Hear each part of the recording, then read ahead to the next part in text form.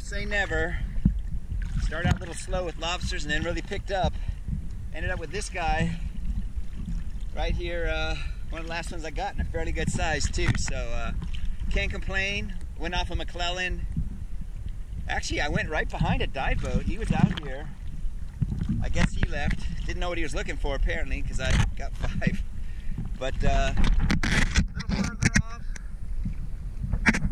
a bit here than I with uh, Pier 66. It looks like I swam fairly far north.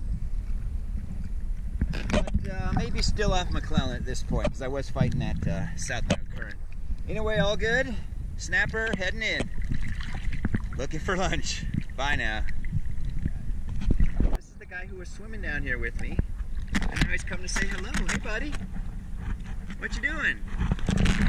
This has really been a pretty interesting dive. Hopefully you saw that guy swimming with me down there. The first time he really spooked me. But then he came down several times. There he goes.